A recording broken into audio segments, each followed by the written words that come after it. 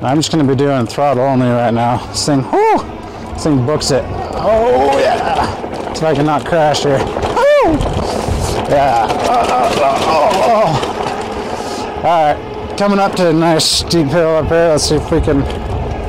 Oh, I'm super excited. This is like a small bike, but for bigger people with tons of like power and awesome features. So let's unpack it and check it out. So super excited to be testing this bike out. I've been waiting for this one to come. Just gonna cut this open right here with my trusty Leatherman. There you go.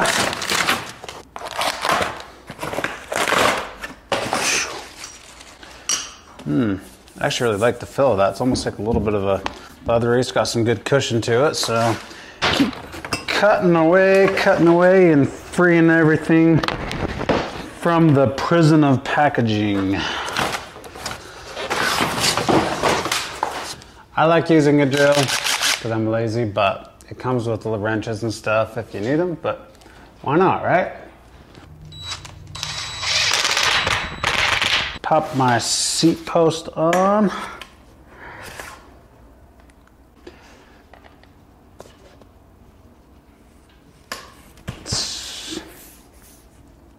All right, so the first thing that I want to talk to you guys about with this e-bike is the size.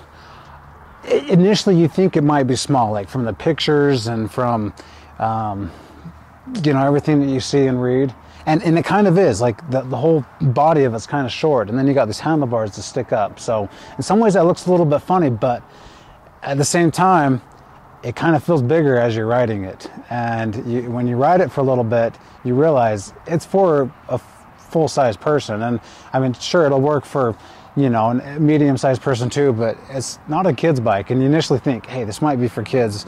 Not so much. Serious off trail, rough road riding. Let's see what this thing's capable of here.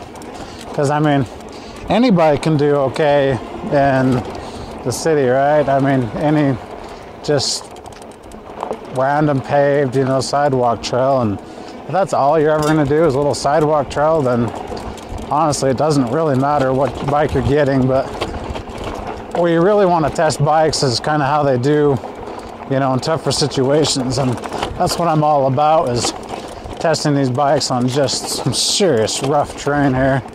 The motor on this bike is a 750 watt motor, but they programmed it, the controller, so that it actually boosts up to 1200 watts of power max. And so even though it's technically a lower wattage motor, it produces a lot. And you can tell the difference when you're when you're riding this thing and it's it's fun. 20 mile, 21, no pedal, full throttle. I'm just booking it, so much fun. Just turning, this thing is, I feel comfortable enough. I could just cruise over any train on this bike. Let's do it. Check this out. Woo! Full throttle, dodging the rocks here. Hoping I don't crash. Yeah. Woo! Let's show you guys how fast this thing goes from zero to 20, okay? So I'm gonna punch the throttle. Ready, set, go. Oh, here we go, here we go, here we go, here we go. You can see that in the sun there. 17, 18, 19, 20, boom. That was, that was pretty fast, honestly. And that was just throttle only here. So, uh, the other good thing about um, that really gives it the speed is that 52 volt on that, that output from the controller and the battery. You're getting 52 volts pumped into that motor, and so you can just really cruise along. And, and I love it. It's a lot of fun. And why not? I mean, sure, you can put the pedal assist on a one or a two, and you can just have a little bit of power, but if you want that power, it's there. All right. Woo! so much fun. Just that rush of just, ah. You're telling you guys, I've ridden a lot of 750 watt e-bikes and um, a lot of times they don't give me quite the power I need and this one definitely, definitely helps. Woo! Just booking it on these trails. Okay, I'm coming up this hill here, throttle only. Here we go. Oh, yeah. The battery, I love how the battery just fits right inside the bike. Uh, the battery is a little bit smaller, some of the batteries. It's a 16 amp hour battery. Um, but it actually, the way they programmed it, you can actually get a lot of distance out, out of it, up to 68 miles.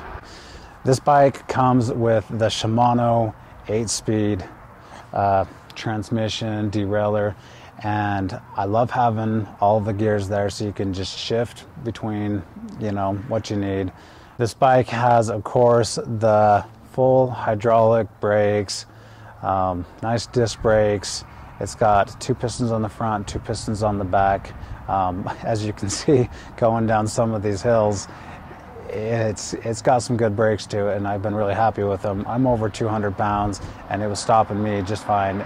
And I don't think most of you are ever going to go down hills that steep. I mean, I'm just I'm on really quite the grade there. And camera doesn't do justice what I'm showing you, but it's it's some steep hills, and those brakes are doing doing really well. So I really um, they did a good job with those. So the other cool thing that this bike has that a lot of bikes don't have is the torque sensor. I really like the torque sensor.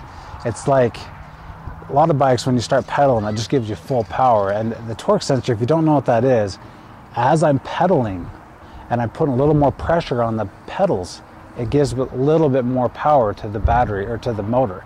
And so as you're pedaling along and you pedal a little bit harder, a little bit harder, the motor starts working harder. And, and I, I, love that about it. And in my opinion, it's the only way to go. Um, and this bike, for the price, you can see the description below for a discounted price. It is one of the best bikes I've seen for the price range.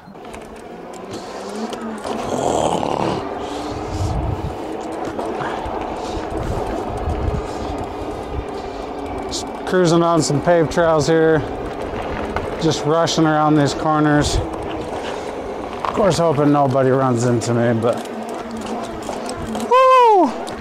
Kind of like to pull it back and do some little wheelies. My wheelies are like uh, little two-inch wheelies. I'm not good enough yet to be one of these guys that just book it, you know? I love how it has the full suspension. You've got a nice setup for the rear shock. You can replace that, so it's easy to exchange if you want something better. You've got your front forks um, there, and again, I was going on some serious bumps, and it was handling really smooth. Ah. Woo! just love hitting those bumps when you're going super fast. It's it's got a good suspension system. I mean, I realize it's not like Fox shocks or something, but for everything you'll be doing with this bike, it's actually pretty smooth. As you can see, um, I can just fold it up and I can just put it into um, the back of my SUV. So it's nice compact if you want to just um, compact it down, store it in your house that's one of the coolest features about this bike. They did a really good job with being able to just unfold the whole thing and just throw it into your car, whatever you, wherever you need to store it. So, a few things that I wish that they did better a little bit is when you're charging and you're plugging it in, it's a little bit stiff. Like, hey, I, I kind of wish I was just a little bit smoother. You kind of just have to jam it in there a little bit. Not that I feel like it's going to break, but when you're putting that charger in, it's just like, oh, hey, like you know, is it in or not? So, and then I don't really like this part of the design, but the key, you have to, um, the key has to stay in there, and the key's on the bottom side, so you're almost worried it's going to fall. And it, it, doesn't because it's like the key locks into place, but I just don't really love that about it. Again, not a game stopper. And last but not least, um, when you ride this thing and you like look at me riding it, I don't quite feel uh, as manly. And again, um, just because of the smaller tires, you know, I'm one of those guys like you have big beefy tires and you kind of want to just hit those big trails. But again, don't let that stop you because that's not really a game changer. It, it, feels good when you're riding it. And and it, you don't even necessarily feel like it's too small for you when you're riding it. You you kind of feel a little bit cool, but with the smaller tires, it almost looks more like a scooter instead of a you know an e-bike as you're riding it. But um, again, don't let that stop you. It's I'm really happy with it. And if you're going with this style of bike, this is honestly the best one that I have seen, especially for the price. So anyway, links in the description. Hope this video helps you guys out. Hit the like button. Thanks for watching, guys.